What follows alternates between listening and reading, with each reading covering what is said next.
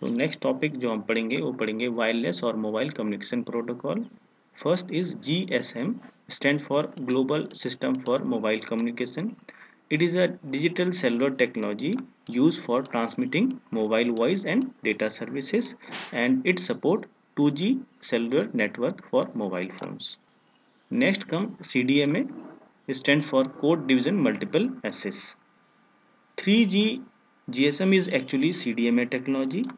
It is also called as WCDMA wide band CDMA or UTMS Universal Mobile Telephone System. Next is GPRS General Packet Radio Services. Speed is 56 to 114 kbps and support 2G and 3 cellular network both. Next WLL Wireless in Local Loop आपने घर में base phone में cordless phone देखे होंगे। वो cordless phone W L L के अंदर आते हैं।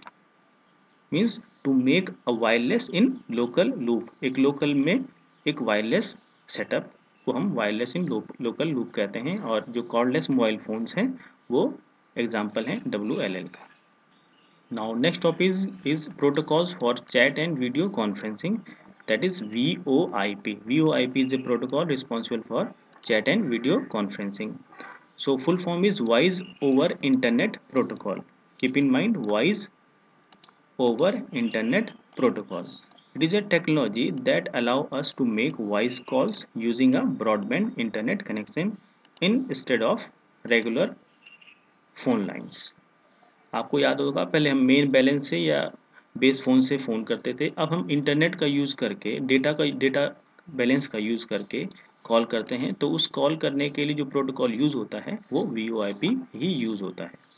So V O I P can allow us to make a call directly from computer और from a V O I P enabled phone using data pack not from main account so, using VoIP that is voice over internet protocol, we can make call using data pack and not from main balance, right? In addition of main balance or main account we can make call using data pack. उसके advantage क्या होंगे कि cost सस्ती हो जाएगी less cost होगी call करने की और जो क्वालिटी ऑफ़ वॉइस है वो अच्छी हो जाएगी and voice quality will increase now दो वायरलेस टेक्नोलॉजी के बारे में पढ़ेंगे wifi you know and next one is WiMAX so full form wireless fidelity and WiMAX worldwide interoperability for microwave access जो वाईफाई है, वो जनरली लैंड इस्टेब्लिश करने के लिए होता है। जैसे एक बिल्डिंग में, एक ऑफ़िस में। और वाई मैक्स जो है MAN metropolitan area network means kilometres में अगर वायरलेस टेक्नोलॉजी इस्टेब्लिश करनी है तो वाई मैक्स का यूज़ होता है। कवरेज की बात करें तो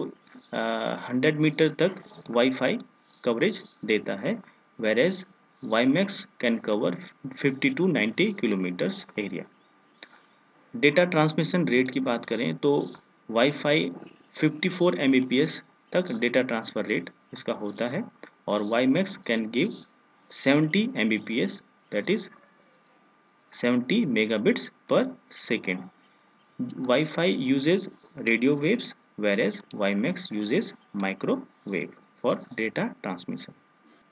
so this is all about wi-fi and wimax right? Thank you